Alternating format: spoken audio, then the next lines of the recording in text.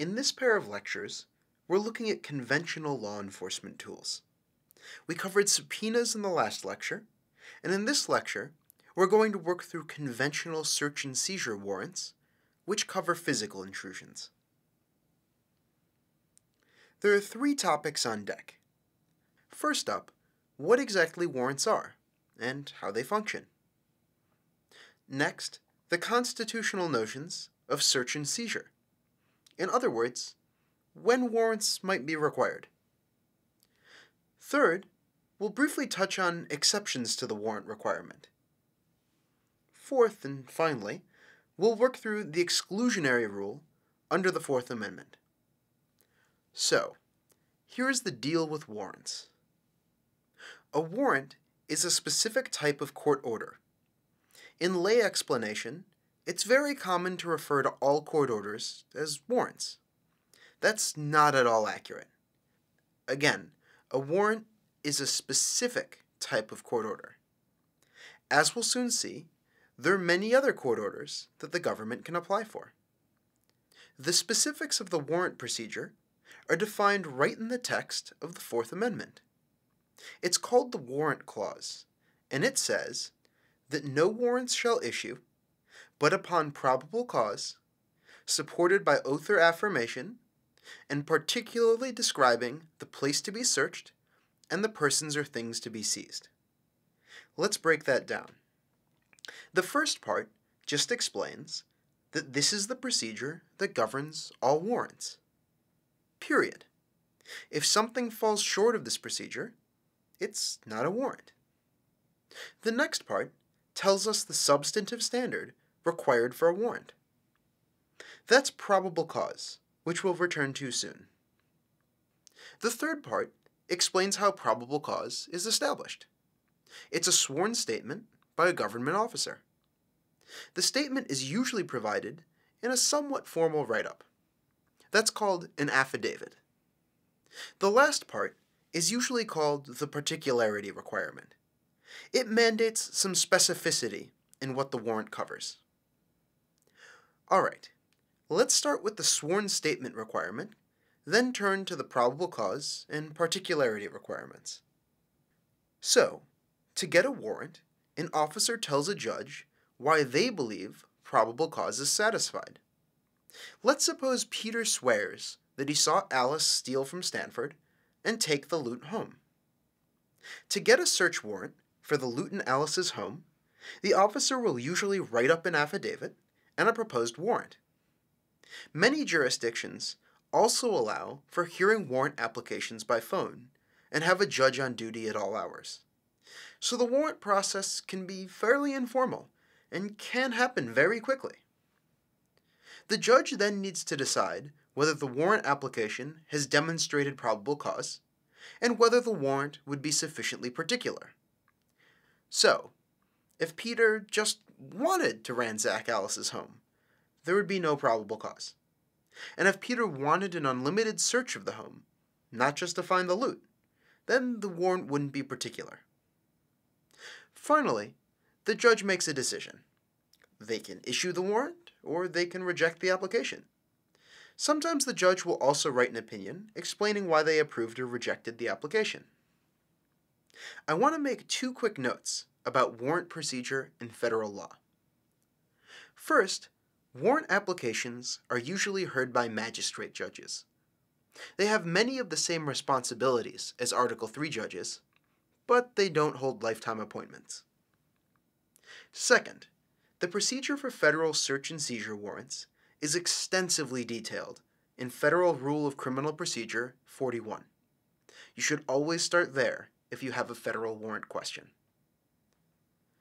Third, federal and state warrant procedures generally require some form of notice to the person whose physical property was searched or seized. Jurisdictions differ on the specific format and timing, and we'll see in the next part of the course that data search warrants don't include a notice requirement. Alright, now let's discuss probable cause. And I want to use the Supreme Court's own language, because I want to fully convey just how amorphous this concept is. Probable cause is an assessment of probabilities in particular factual contexts, that is not readily reduced to a neat set of legal rules. It's a judgment considering the totality of the circumstances, informed by the factual and practical considerations of everyday life. Ultimately, a judge needs to find a fair probability. So, if you're looking for hard probability math, you've definitely come to the wrong place. This is really up to a judge's discretion. There are two well established points about the probable cause standard that I want to call out.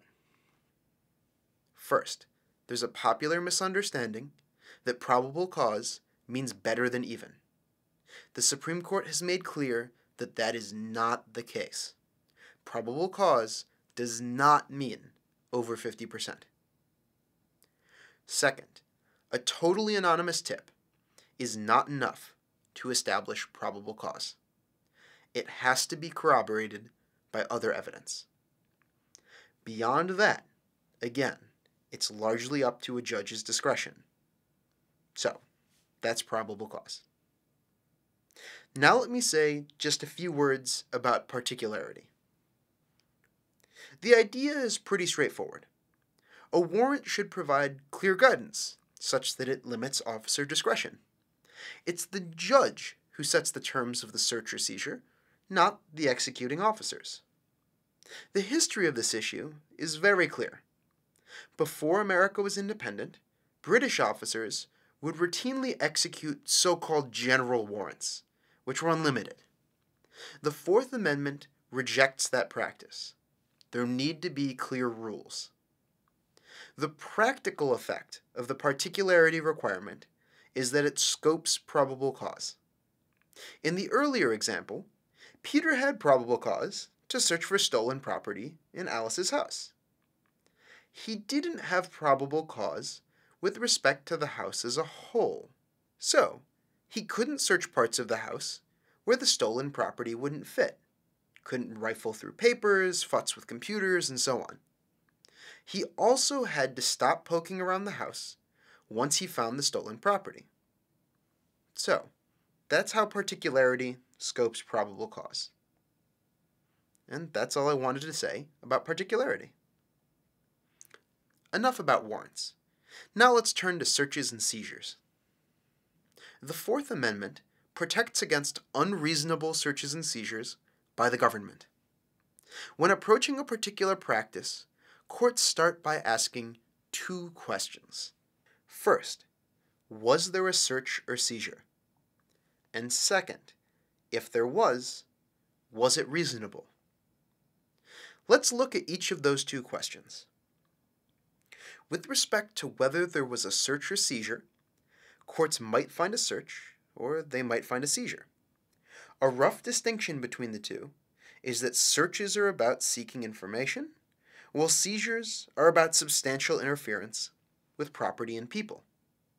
That distinction holds up pretty well in conventional physical searches and seizures. If Peter pokes around Alice's house looking for some loot, that's a search. If Peter confiscates some of Alice's belongings, or arrests Alice, then that's a seizure. In electronic searches and seizures, however, the distinction quickly gets very blurry.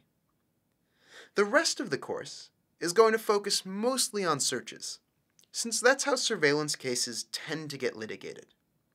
There are some hints of jurisprudence suggesting that seizure doctrine applies to surveillance, though it tends to get conflated with search doctrine anyway.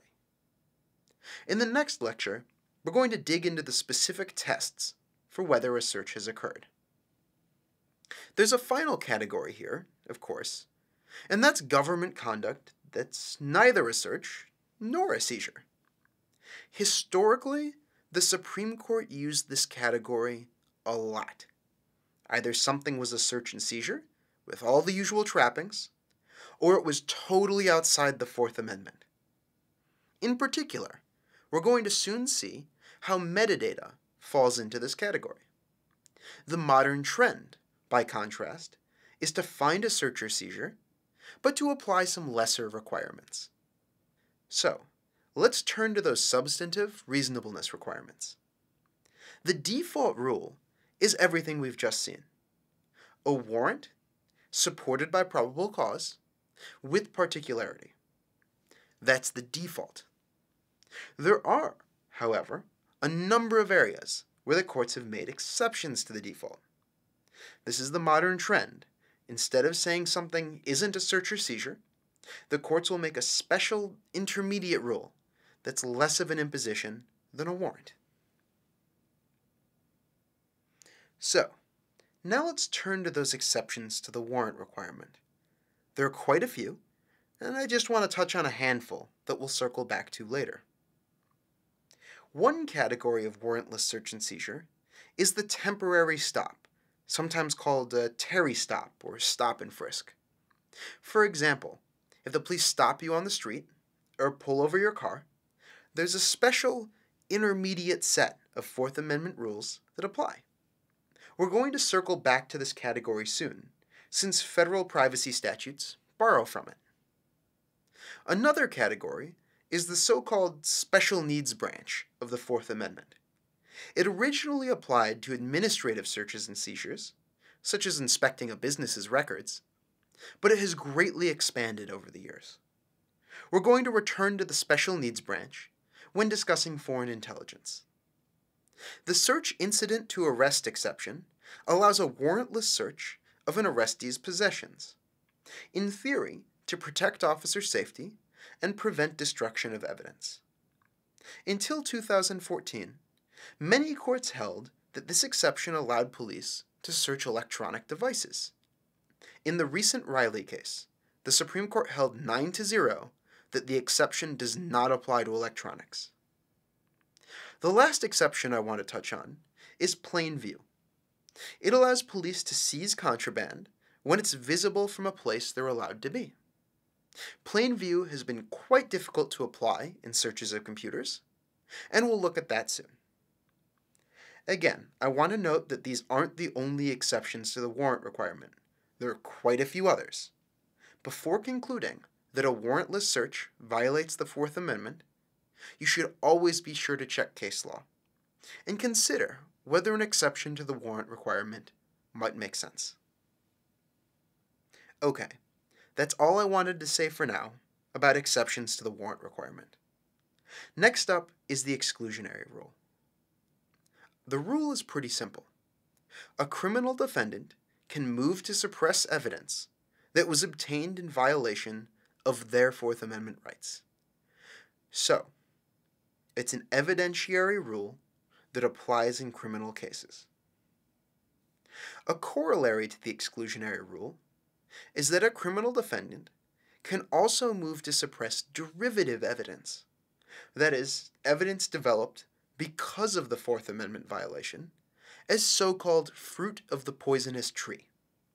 There are exceptions to the fruits doctrine, where evidence arrives from an independent source, or where the evidence would be inevitably discovered. Those can be pretty tricky for prosecutors to navigate. So, thus far, the exclusionary rule seems quite protective of constitutional rights. But there is an enormous exception to the exclusionary rule. And that's where police officers act in good faith. The idea is that the exclusionary rule should exclusively serve to deter misconduct. And where the police make an understandable mistake, there's no benefit to letting a criminal walk free. The cynical take on the good faith exception is that the current Supreme Court dislikes the exclusionary rule and is whittling it down to the extent possible. In a sense, the good faith exception is like the qualified immunity of the Fourth Amendment's exclusionary rule. Whatever the grounds for the exception, this much is certain. The exception has blossomed such that it is swallowing the exclusionary rule let me touch on a few places where the good faith exception clearly applies, according to the Supreme Court. First, if a search or seizure was pursuant to a warrant, the exclusionary rule almost never applies. A defendant has to show there was a defect on the face of the warrant say, listing the wrong address, or that the police lied, or that a judge was totally in the tank for the police, or that there wasn't anything close to probable cause. Short of glaring errors like those, a warrant equates to no suppression. Another important area where the exception applies is when a search or seizure is pursuant to a statute. So long as the statute is an obviously unconstitutional, there's no suppression. We're going to see an instance of this with government access to email. The net effect, much like qualified immunity, is to give law enforcement a freebie before a statute is invalidated. Mistakes by court clerks are also enough to prevent suppression, as are even mistakes by a different police department. So, even if you think the Fourth Amendment was violated, always make sure to think through the good faith exception. Okay, so there's the exclusionary rule, the fruits of the poisonous tree doctrine, and the good faith exception. That brings to a close what I wanted to say about conventional searches and seizures. In the next part of the course, we're going to get into the basic mechanics of surveillance law. We're going to start with telephone snooping, then we'll move on to modern information technology.